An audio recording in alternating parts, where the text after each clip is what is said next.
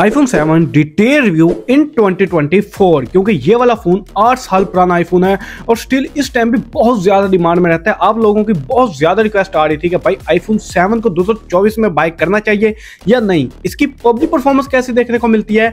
इसके कैमराज कहाँ stand out करते हैं? उसके साथ साथ इसकी बैटरी एंड चार्जिंग टाइम कितना देखने को मिलता है और उसके अलावा इसमें अपडेट कौन सी देखने को मिल रही है? इसमें व्हाट्सअप वगैरह फेसबुक इंस्टाग्राम सारे ऐप स्मूथली रन कर जाते हैं या नहीं कर जाते? तो आपके सारे क्वेश्चन का आंसर आज इस वीडियो में मिलने वाला है। आप वीडियो पूरी देखिए। उम्मीद है इस वीडियो को देखने के बाद आपके सारे डाउट क्लियर हो जाएँगे कि आने वाले टाइम में पूरे 2024 में आप इसको यूज़ कर सकते हो या फिर ये वाला फ़ोन वर्थ इट नहीं है अपनी प्राइस के हिसाब से। सबसे पहले बात कर लेते हैं इस मोबाइल की बिल्ड एंड डिज़ाइन की। अगर आप इसके बिल्ड एंड डिज़ाइन की बात करते हैं तो बहुत ही ज़्यादा छोटा और कॉम्पैक्ट फ़ोन है, आप देख सकते हैं। उसके साथ इसमें हमें सेवन थाउज़ेंड सीरीज़ वाली एल्यूमिनियम देखने को मिलती है।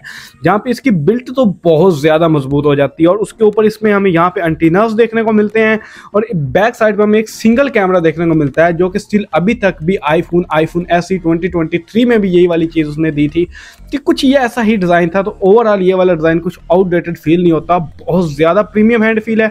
अब जिस तरह मर्ज़ी फील करिए, आपको बहुत प्रीमियम देखने को मिलता है। तो डिज़ाइन वाइज तो मेरा मोस्ट फेवरेट फ़ोन है आईफोन सेवन आप इसको ज़रूर कंसिडर कर सकते हो। अब आ जाते हैं इसके फ्रंट डिस्प्ले के ऊपर? अगर आप इसकी डिस्प्ले की बात करते हैं ना तो इसके अंदर हमें एक आईपीएस डिस्प्ले देखने को मिलती है जो कि 4.7 इंच की है। अब देख सकते हैं, इतनी सी डिस्प्ले बाकी ऊपर और नीचे हमें अढ़ाई हड़ाई मरने के, मरले के बेजल देखने को मिलते हैं, जो कि एक्सपीरियंस थोड़ा सा खराब करते हैं। लेटेस्ट फोनों में ऐसी तो बिल्कुल भी चीज़ देखने को नहीं मिलती। उसके बाद अगर आप डिस्प्ले की स्मूथनेस की बात करते हो तो बहुत ज़्यादा स्मूथ डिस्प्ले है। डिस्प्ले से ऐसी मुझे कोई शिकायत नहीं है बेजल्स को छोड़ के। और अगर आप इसके व्यूइंग एंगल वगैरह की बात करते हैं तो व्यूइंग एंगल भी मुझे बहुत ज़्यादा एक्यूरेट देखने को मिले हैं। और डे टाइम में यूज़र्स की बात करते हैं हैं जिसमें हमें फोर एटी निट की ब्राइटनेस देखने को मिलती है, जिसकी वजह से इसकी डे टाइम विजिबिलिटी भी बहुत ज़्यादा अच्छी देखने को मिलती है। मुझे कोई इश्यू देखने को नहीं मिला, ना डे टाइम में एंड ना नाइट टाइम में इसको यूज़ करते हुए। तो डेफिनेटली आप इसको डिस्प्ले के लिए भी ज़रूर कंसिडर कर सकते हो, चाहे छोटी डिस्प्ले लेकिन बहुत ज़्यादा शार्प डिस्प्ले है।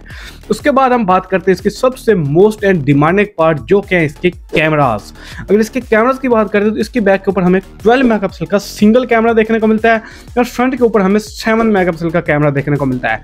अगर आप इसके बैक कैमराज की बात करते हैं तो इसके साथ आप बहुत डिसेंट सी इमेज निकाल सकते हो और ये वो वाहिद आईफोन है, जिसमें आपको कुछ कलर ग्रेडिंग देखने को नहीं मिलती एप्पल की तरफ़ से। बिल्कुल नेचुरल पिक्चर देखने को मिलती है। जिनका फ़ायदा यह है कि आप इनको बहुत ज़्यादा अच्छे से बाद में जाके एडिट भी कर सकते हो। उसके बाद अगर आप इसकी वीडियो रिकॉर्डिंग की बात करते हैं तो इस फ़ोन के अंदर जो हमें वीडियो रिकॉर्डिंग देखने को मिलती है, वो फोर तक देखने को मिलती है। हाँ जी, इस छोटे से फ़ोन में इतनी ज़्यादा कम प्राइस में आपको फोर वीडियो रिकॉर्डिंग देखने को मिलती है। फोर के थर्टी एफ़ और ten eighty P sixty F के ऊपर आपको स्टेबिलाईजेशन भी देखने को मिल जाती है। तो वीडियो रिकॉर्डिंग वाइज बहुत कमाल फ़ोन है। इस प्राइस में कोई भी टेक्नो, इनफिनिक्स, किसी भी और कंपनी एंड्रॉइड फ़ोन को उठा लो। इतनी अच्छी वीडियोग्राफी वो वाला फ़ोन आपको प्रोवाइड बिल्कुल नहीं करने वाला। तो डेफिनेटली वीडियोग्राफी का अगर आपका काम है तो आप इसको ज़रूर कंसिडर कर सकते हो। अब थोड़ी सी फोटोग्राफी एंड पोर्ट्रेट्स मोड की बात करते हैं। तो इस फ़ोन के अंदर आपको पोर्ट्रेट मोड तो सिरे से ही देखने को नहीं मिलता, जो कि काफ़ी बुरी बात है। और अगर आप इसकी बाकी फोटोग्राफी वगैरह की बात करते हैं तो आपको डिसेंट सीम ही देखने को मिल जाती हैं, जिनकी डिटेल्स काफ़ी अच्छी हैं, लेकिन लो लाइट में काफ़ी ज़्यादा स्ट्रगल करता है। वो एक चीज़ आपको देखने को मिलती है। बाकी काफ़ी नेचुरल पिक्स हैं पिक्चर्स हैं, जिनको आप बाद में अच्छे से एडिट भी कर सकते हो। डिटेल एडिट का ट्यूटोरियल मेरे चैनल पे मौजूद है और अभी तक वीडियो देख रहे हो तो लाइक ज़रूर कर दीजिएगा और चैनल को सब्सक्राइब ज़रूर कर दीजिएगा। क्योंकि आपको लाइक करने से कुछ नहीं होता, लेकिन मुझे बहुत ज़्यादा मोटिवेशन और फ़ायदा होता है, क्योंकि अब यूट्यूब का एल्गोरिदम ही कुछ ऐसा हो गया है कि अगर आप वीडियो को लाइक नहीं करोगे तो वीडियो नेक्स्ट आप तक पहुंचेगी ही नहीं। तो मेहरबानी करके वीडियो को लाइक ज़रूर कर दीजिएगा। उसके बाद बात कर लेते हैं इसकी पबजी की परफॉर्मेंस की एंड नॉर्मल परफॉर्मेंस की। अगर आप पबजी की बात करते हैं तो इसके अंदर काफ़ी ज़्यादा टाइम पबजी खेली जाती है मेरे घर के अंदर। ये मेरे काफ़ी ज़्यादा टाइम से यूज़ हो रहा है ये वाला फ़ोन मेरे पास। तो इसकी पबजी परफॉर्मेंस की बात करते हैं तो आपको फोर्टी एफ़ का गेम प्ले देखने को मिलता है। डिटेल गेम का टेस्ट मैंने अपने चैनल पर डाला हुआ है। मैं डिस्क्रिप्शन में लिंक ज़रूर छोड़ दूँगा, आप जाके देख सकते हो। और ऊपर आई कार्ड में भी मैं डाल दूँगा, आप वहाँ पर जाके भी देख सकते हो। अगर आप इसकी नॉर्मल मैं आपको यहाँ छोटी सी कंक्लूजन दूँ, इसकी गेमिंग परफॉर्मेंस मुझे इतनी कोई ख़ास देखने को नहीं मिलती, क्योंकि मोबाइल बहुत ज़्यादा छोटा है तो डिस्प्ले के ऊपर कंट्रोल करना बहुत ज़्यादा मुश्किल हो जाता है। उसके बाद, अगर अब तो सर्दियाँ चल रही हैं, अब कोई इशू नहीं है, लेकिन अगर आप गर्मियों में खेलते हैं तो ये हीट भर भर के होता है गेम खेलते वक्त। तो ये प्रॉब्लम देखने को मिलती है, लेकिन फायर कनेक्टिविटी की बात करते हैं ना, और आप इसकी हीटिंग को बर्दाश्त कर सकते हैं। आप कुछ ऐसे प्लेयर हैं, जिसको सिर्फ़ कंपटीशन अच्छा चाहिए और कम प्राइस में चाहिए तो दी बेस्ट है। अच्छे, अच्छी फायर कनेक्टिविटी मेरा नहीं ख्याल कि एप्पल से अच्छी कोई भी और डिवाइस आपको प्रोवाइड करेगी। फायर कनेक्टिविटी कमाल की देखने को मिलती है, आप इसको ज़रूर कंसिडर कर सकते हो। और अगर ग्राफिक्स की बात करते हो तो मैं आपको दिखा देता हूँ। स्मूथ के साथ अल्ट्रा बैलेंस के साथ अल्ट्रा एचडी के साथ अल्ट्रा एचडीआर तक आप इसके अंदर गेमिंग कर सकते हो। अल्ट्रा एचडी आपको देखने को नहीं मिलती। तो गेमिंग के लिहाज से मैं इसको टाई ही डिक्लेयर करूँगा। आप इसको कंसिडर कर भी सकते हो और नहीं भी हाँ अगर आप नॉर्मल यूजेस वाली गेमिंग की बात करें, जैसे सबे सफ़र टोम कुकिंग वगैरह की तो वो तो आप बहुत अच्छे से खेल सकते हो। कोई लैग देखने को नहीं मिलेगा। तो कुछ इस तरह की परफॉर्मेंस देखने को मिलती है। बाकी day by day user apps की बात करते हो तो आप देख सकते हो कि इसकी स्पीड अभी भी काफ़ी अच्छी है। मुझे पूरा दिन यूज़ करता हूँ फ़ोन लेकिन कोई लैग कोई जीटर कुछ भी देखने को नहीं मिलता। बहुत ज़्यादा स्मूथली भागता है ये वाला फ़ोन तो आप इसको ज़रूर कंसिडर कर सकते हो।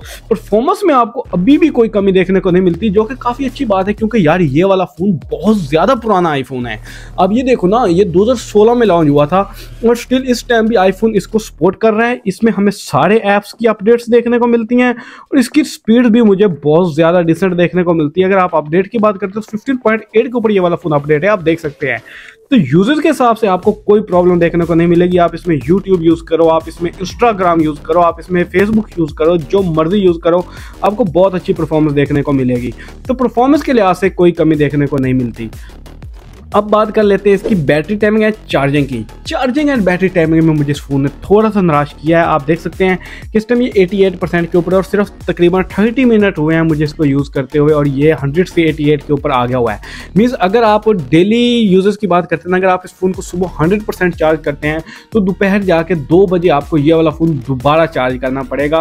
और चार्जिंग टाइम की बात करते हैं तो आप अगर कोई दस या पंद्रह मिनट का चार्ज यूज़ करते हैं तो ये वाला फ़ोन तकरीबन अढ़ाई घंटे ले जाता है चार्ज होने में।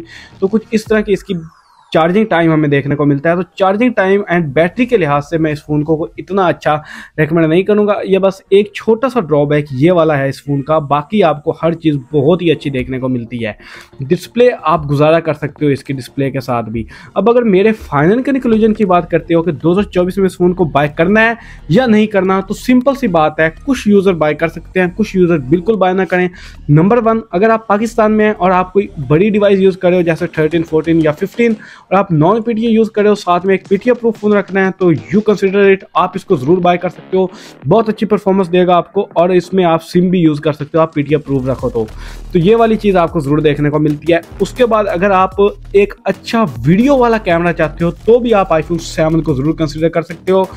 उसके साथ अगर आप गेमिंग करना चाहते हो तो मैं आपको कोई इतना हार्डली रेकमेंड नहीं करता ये वाला फ़ोन गेमिंग में बस नॉर्मल नॉर्मल ही है। आप अगर इसके साथ कोई कूलिंग फ़ैन लगा लो तो आप अच्छी गेम निकाल पाओगे। अदरवाइज़ आप इससे अच्छी गेमिंग नहीं कर सकते। ये बात माइंड में रखिएगा। और बाकी चार्जिंग एंड बैटरी टाइमिंग भी काफ़ी कम देखने को मिलती है तो ये छोटा सा प्रॉब्लम भी ज़रूर देखने को मिलता है। सिर्फ़ कैमरा यूज़र इसको कंसिडर करें और एक ऐसा यूज़र जिसने छोटा फ़ोन रखना है जिसको अपनी जेब में बिल्कुल भी वज़न नहीं चाहिए, वो चाहता है कि मुझे ऐसे फील हो कि मेरी पॉकेट खाली है। और स्लिम एंड लाइट डिवाइस चाहिए और एक पावरफुल डिवाइस हो, इस प्राइस में आने वाले किसी भी एंड्रॉयड से बेहतर हो तो भी आप इसको ज़रूर कंसिडर कर सकते हो। उम्मीद है आपको समझ आ गई होगी। अगर समझ आई है तो वीडियो को लाइक ज़रूर कर दीजिएगा और कमेंट भी छोड़ दीजिएगा कि आपको किस चीज़ में कोई कन्फ्यूज़न रही है तो। बाकी इस तरह की सीरीज़ में दो में बनाने वाला हूँ, जहाँ पे मैं सारे आईफोन्स को लूँगा और सारे आईफोन्स को ही मैं रिव्यू करने वाला हूँ। उस चीज़ के लिए आप चैनल को सब्सक्राइब करके ज़रूर रख सकते हो। तो अपने भाई को दीजिए इजाज़त। मिलते हैं किसी नेक्स्ट बहुत ही इंटरेस्टिंग वीडियो में। तब तक के लिए अल्लाह हाफिज़।